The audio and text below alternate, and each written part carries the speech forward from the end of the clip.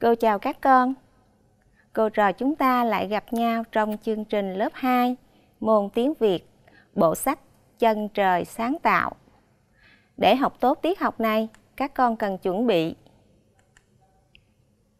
Sách giáo khoa tiếng Việt 2 tập 1 Vở bài tập tiếng Việt 2 tập 1 Vở Và bút Khi ngồi học, các con chú ý lắng nghe cô giảng bài và thực hành theo các yêu cầu của cô. Trước khi vào tiết học, cô trò chúng ta đến với hoạt động khởi động.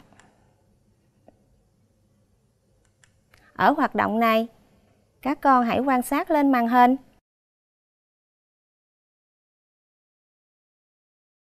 Các con hãy nêu tên những đồ vật có trong hình.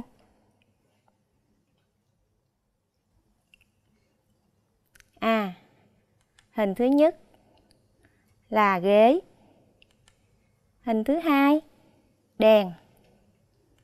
Hình thứ ba là bàn. Thứ tư là bàn là. Bàn là hay còn gọi là bàn ủi đó các con. Và cuối cùng là quạt điện. Các đồ vật như ghế, đèn, bàn, bàn la, quạt điện. Đây là tên các đồ vật trong nhà rất quen thuộc đối với các con đúng không nào? Để biết được chúng có đặc điểm gì? Có những bộ phận nào? Về hình dáng, kích thước, màu sắc, chất liệu và lợi ích như thế nào?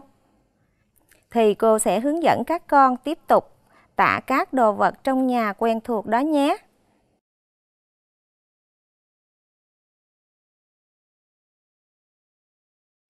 Hôm nay cô trò chúng ta tiếp tục tìm hiểu tuần 18. Ôn tập học kỳ 1, sách giáo khoa trang 150 với nội dung tìm hiểu là Ôn tập 2. Trong nội dung bài học hôm nay, cô chia thành hai hoạt động. Hoạt động 1. Phân tích mẫu. Hoạt động 2. Viết đoạn văn tả đồ vật Bây giờ cô trò chúng ta đến với từng hoạt động nhé các con. Hoạt động 1. Phân tích mẫu. Ở hoạt động này các con thực hiện yêu cầu sau. 4. Viết 4 năm câu tả một đồ vật trong nhà theo gợi ý. Gợi ý thứ nhất, A. Em tả đồ vật gì? B. Đồ vật đó có những đặc điểm gì nổi bật? Trong phần tả đặc điểm, các con nêu được hình dáng, kích thước, màu sắc, chất liệu. Và ý thứ ba là tình cảm của em với đồ vật đó. Đầu tiên cô trò chúng ta đến với gợi ý thứ nhất. A. em tả đồ vật gì? Các con quan sát lên màn hình. Đây là hình ảnh gì các con? À, là cái quạt điện. Đến với gợi ý thứ hai. Đồ vật đó có những đặc điểm gì nổi bật? Thứ nhất là về hình dáng, kích thước, màu sắc, chất liệu. Vậy, với đặc điểm về hình dáng thì cô có từ ngữ sau. Tròn. Về kích thước, cô có từ ngữ như cao, thấp. Về màu sắc, cô có các từ ngữ đen, xanh, vân vân. Về chất liệu, cô có từ ngữ là làm bằng mũ. Tiếp theo cô trò chúng ta đến với gợi ý thứ ba. Tình cảm của em với đồ vật đó.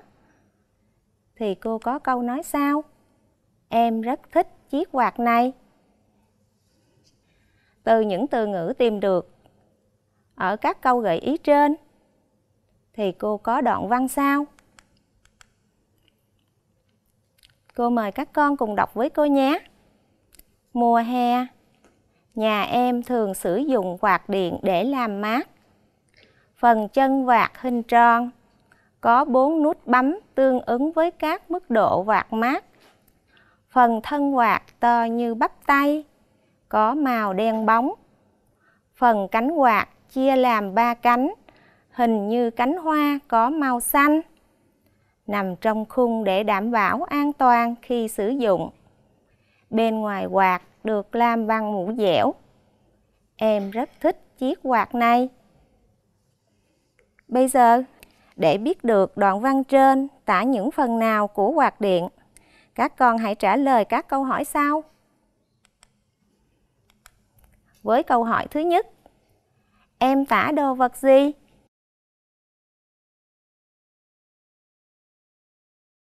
À, ở câu thứ nhất, mùa hè nhà em thường sử dụng quạt điện để làm mát, thì cô thấy có từ quạt điện. Vậy từ quạt điện trả lời cho câu hỏi thứ nhất rồi đó các con. Cô trò chúng ta đến với câu hỏi tiếp theo. Đồ vật đó có những đặc điểm gì nổi bật? Vậy, các con hãy đọc thầm lại đoạn văn trên để trả lời câu hỏi cho cô nhé.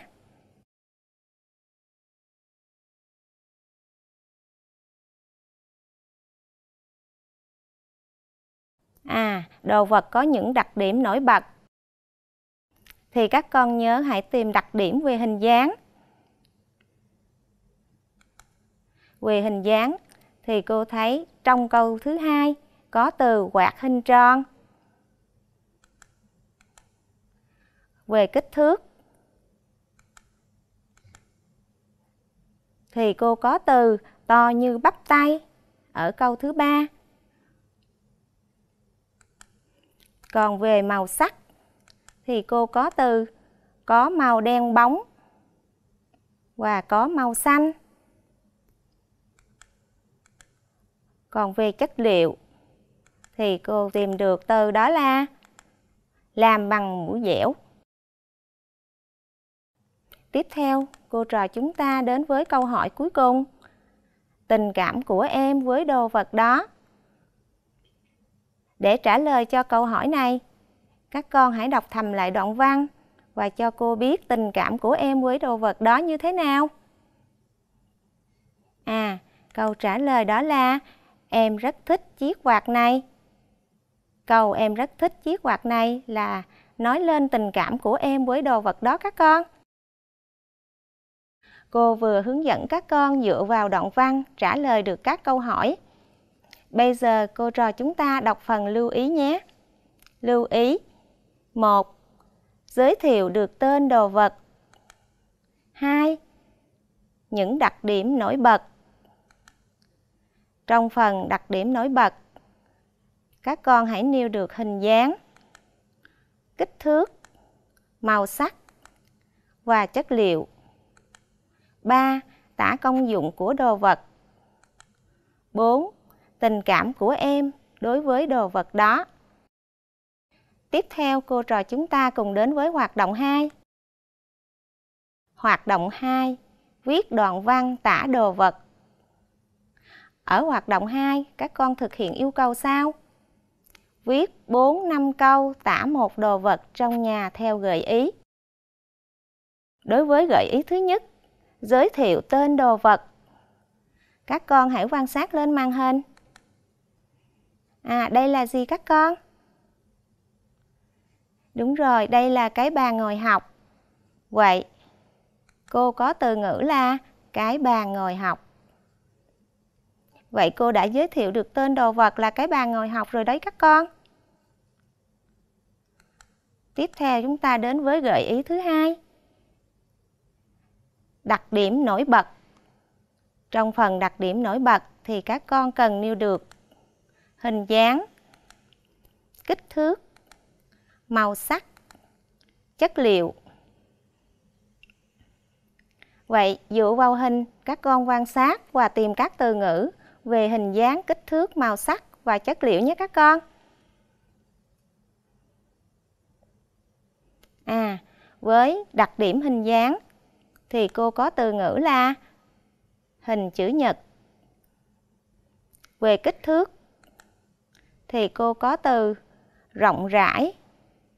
Về màu sắc thì cô có từ màu vàng nâu. Về chất liệu, cái bàn được làm bằng gỗ. Tiếp theo cô trò chúng ta đến với gợi ý thứ ba. Hãy nêu tình cảm của em với đồ vật đó. Vậy cô có câu sau. Em rất quý chiếc bàn học bố mua cho. Ở đây từ rất quý thể hiện được tình cảm của em với đồ vật đó đấy các con. Vậy từ những từ ngữ tìm được theo gợi ý trên, cô viết được một đoạn văn tả về đồ vật là cái bàn học như sau. Với gợi ý thứ nhất, cô viết được câu Đầu năm học, bố mua cho em một chiếc bàn để em ngồi học. Với gợi ý thứ hai, đặc điểm về hình dáng và kích thước, cô có câu thứ hai là mặt bàn có hình chữ nhật khá rộng rãi. Em có thể để lên đó đèn học, lọ hoa, đồng hồ và cả hộp bút, sách vở khi học bài.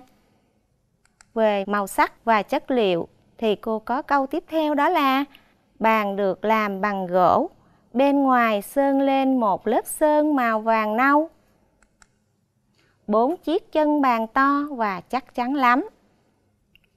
Còn với gợi ý cuối cùng, nói về tình cảm của em với cái bàn thì cô có câu sao?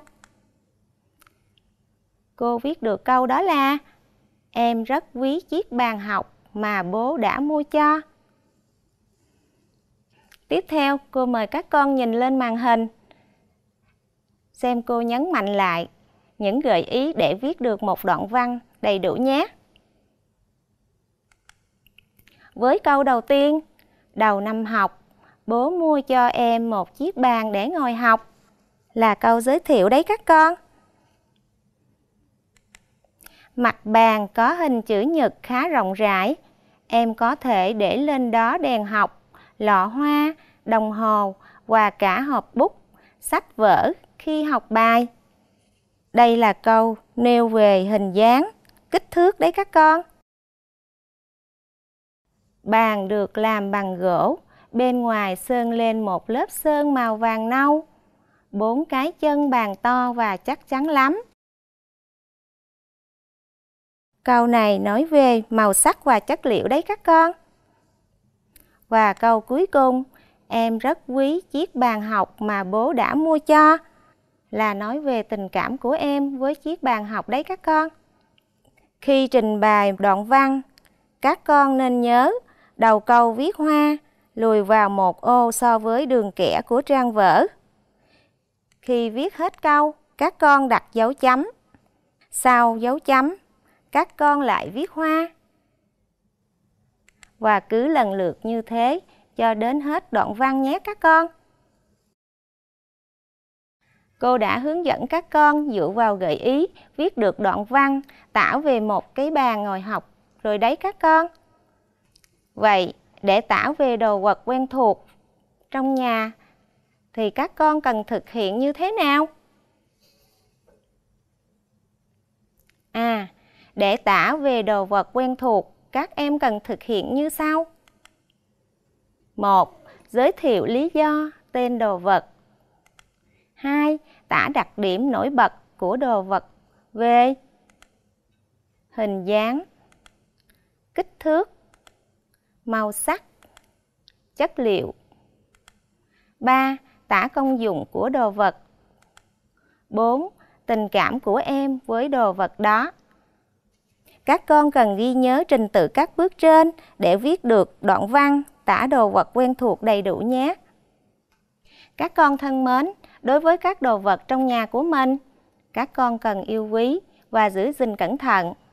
Bởi vì mỗi đồ vật nó đều có công dụng và có rất nhiều lợi ích cho các con trong việc học tập và trong cuộc sống hàng ngày nhé các con.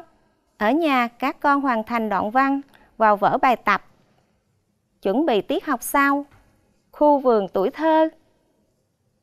Tiết học cô trò đến đây là hết rồi. Chúc các con chăm ngoan học giỏi. Chào tạm biệt và hẹn gặp lại các con.